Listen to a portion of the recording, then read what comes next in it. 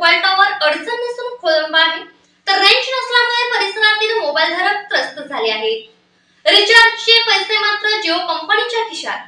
ग्राहक मात्र जिओ कंपनीच्या विविध सुविधांपासून वंचित आहेत.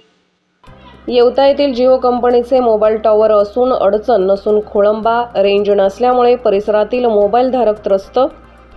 केस तालुक्यातील येवता येथील जिओ कंपनीचे मोबाईल टॉवर अडचण नसून खोळंबा आहे. तर रेंज नसल्यामुळे परिसरातील मोबाईलधारक त्रस्त झाले आहेत.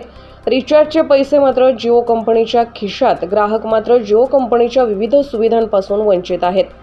याबाबतची सविस्तर माहिती अशी की केस तालुक्यातील येवता परिसरातील गावामध्ये गेले दोन ते तीन महिन्यापासून नेटवर्क केव्हा बंद तर केव्हा चालू आहे जिओ कंपनीचे टॉवर गावात असून देखील रेंज येत नाही.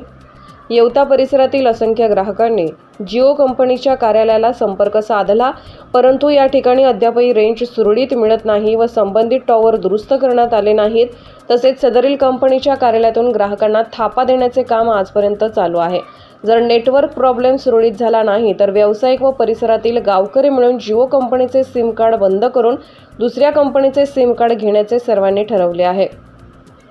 त्यांनी तात्काळ जिओ कंपनीने नेटवर्कचे काम दुरुस्त करावे अन्यथा आमच्या रिचार्जचे पैसे परत करावे अशी ग्राहकांची कंपनीला याद्वारे मागणी करत आहेत. कारण हे तसेच आहे गेल्या दोन ते तीन महिन्यापासून या भागातील असे मुख्य ग्राहक रिचार्ज करत आहेत परंतु रेंज प्रॉब्लेममुळे अस रेंज प्रॉब्लेम असल्यामुळे नेटवर्क व्यवस्थित नसल्याकारणाने आम्हाला कंपनीकडून नाहक त्रास होत आहे असे देखील नागरिकातून बोलले जात आहे. सदर प्रकारची जिओ कंपनीने तात्काळ दखल घ्यावी अन्यथा सिम कार्ड बदलू असा इशारा या भागातील नागरिकांनी दिला आहे. काय रेंज येत नाही काय नाही ते जिओ टावर काय मांडली किती वर्षापासून वापरता जिओ? जवळपास पाच सहा वर्ष झाले ना. हां. किती दिवस झाले आता? आता जवळपास सहा महिने झाला अशी प- परिस्थिती हां. एक तर फोन लागत नाही नेट तर कसलं चलत? नानाला विचारा ना. तुमचं चालतंय का? आमचं काय चालत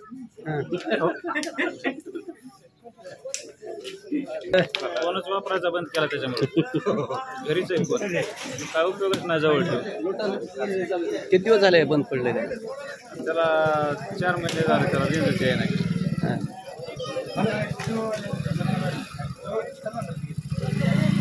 तुम्ही कोणतं कार्ड वापरता? येऊच जो वापरतोय. चालतंय का? काय चालतंय आता ते हे करून दुसऱ्या ह्याच्यामध्ये जायचे ते रेंजच येत नाही त्याला. चलतच नाही. आता वडाफोनमध्ये जायचे. नाही ते एअरटेल मध्ये करून टाकायचे. काय ते चलतच नाही काय करायचं? कोणतं टावर हा, जिओचं. चलतच नाही ते. आपल्याला कसं बंद करता येईल? हा? आपल्याला कसं हा, दुसऱ्या ह्याच्यामध्ये जाऊ. दुसऱ्या टावर केस करते. आपल्या इथं जिओचे सारखेच प्रॉब्लेम येते. तर आपली काय प्रतिक्रिया आहे की जिओचं टावर चलत नाही का? चालतंय का? तर जिओचं टावर पहिले काही का- काळामध्ये व्यवस्थित चालत होतं. आता आता जिओच्या रेंजमध्ये भरपूर प्रॉब्लेम यायला लागलेत. कुठलं इमर्जन्सी कॉल करताना रेंज वगैरे व्यवस्थित येत नाही. य- आणि त्याच्यामुळं भरपूर अडचणी निर्माण व्हायला लागल्यात. इथं जिओ कधीपासून वापरताय? जिओ वापरतो त्याला आज अं, पाच सात वर्ष झाले जिओ वापरतो मी त्याला. पण ते पहिल्यांदा नवीन नवीन बरं वाटलं ते थोडं थोडं बॅलन्स टाकायचं ते सगळं व्यवस्थित अं, त्यांचं रेंज पुरायची हे ते. आता बॅलन्स टाकून बी त्यांची रेंज पुरत नाही काय नाही रेंज येत नाही कुठं गेलं तर.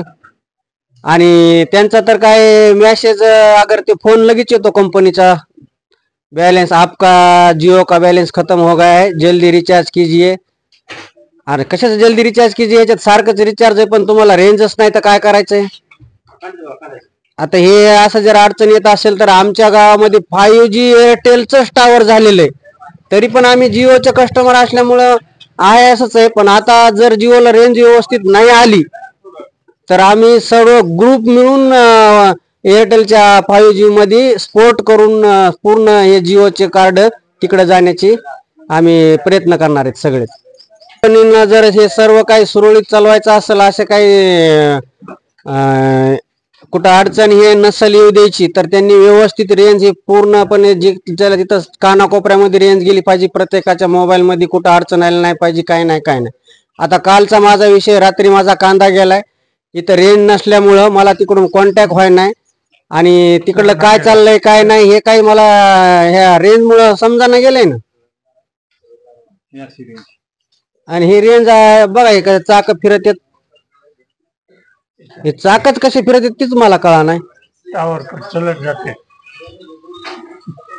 हे हे हे आता आम्ही फेसबुक ओपन केले ह्याच्यावर काहीतरी दाखवित या तीनशे अठ्ठावीस केबीचा कनेक्ट टू नॉट नेटवर्क आता का म्हणे यांचं नेटवर्क नाही.